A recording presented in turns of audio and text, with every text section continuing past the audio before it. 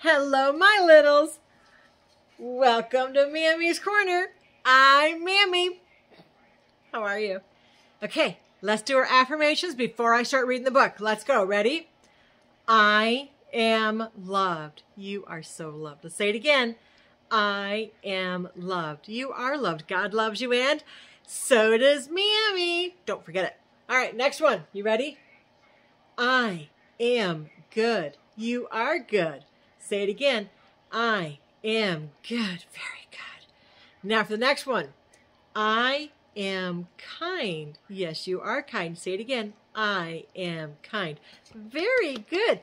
Don't forget to subscribe and hit that like button so you can see more of Mamie. Okay, are you ready? So today's reading is again out of the Disney's Storybook Collection. Let's see what we're reading today. All right, so let's read out of the Disney Storybook Collection. The next story is Sleeping Beauty. Oh, and remember, children, all of these Disney Storybook collections are based off of a movie. So if there's something that you want to see, ask someone to show you the movie. All right, let's start reading.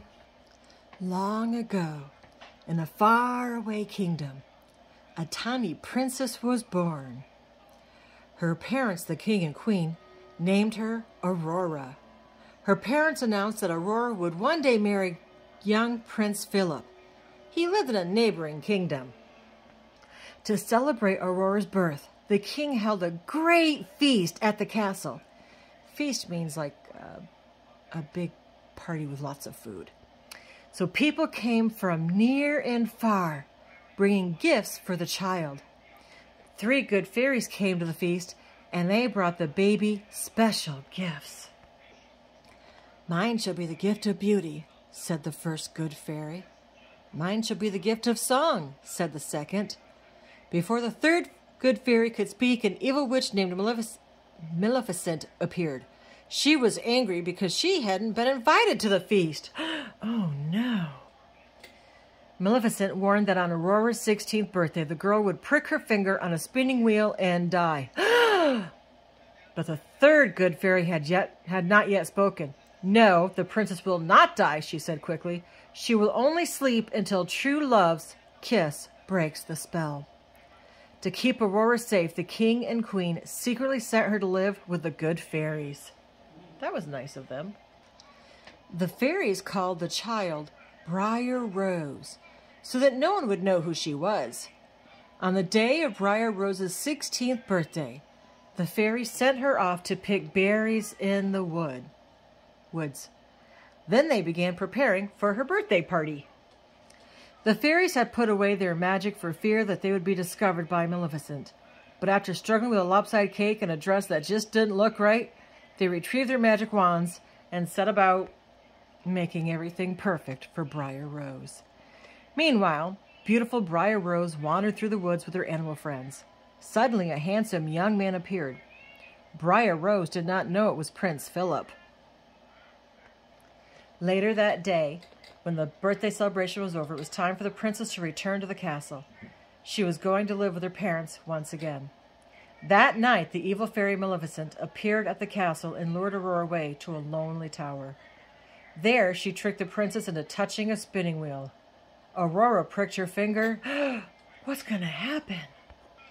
And fell into a deep sleep. To save the king and queen from terrible heartache, the good fairies put everyone in the castle to sleep. Meanwhile, Maleficent wanted to keep Prince Philip away from Aurora, so she locked the prince in a dungeon. How not nice of her! Oh my goodness! Philip was not a prisoner for long. The good fairies brought him a magic shield and sword. Soon, he was on his way to rescue the princess. To keep Prince Philip from entering the castle, Maleficent surrounded it with thick branches full of thorns. That was not nice, was it? But that didn't stop the prince. As soon as the prince came closer to the castle, Maleficent turned herself into an angry dragon. It was a terrible fight, but Philip used his magic shield and sword and finally defeated the dragon. Yay! Prince Philip raced to the tower and found the sleeping beauty. He kissed her tenderly, and the princess awoke. At the same moment, everyone in the castle awoke. The king and queen were overjoyed to see their daughter again. Soon it was announced that Princess Aurora and Prince Philip would marry. Everyone in the kingdom rejoiced, for they knew that Aurora and her prince would live happily ever after. The end. I hope you liked that story. It was it was pretty interesting, wasn't it? The movie's even better. But anyway, so don't forget to hit that like button when you watch my videos. It lets Mamie know that you really like the videos. Because otherwise, I'm not going to know if you like them or not. So do I keep reading? Will you let me know? All right, thank you. Don't forget that God loves you and so does Mamie. Shh, don't tell, but Mamie loves you bestest. Have a good day. See you soon.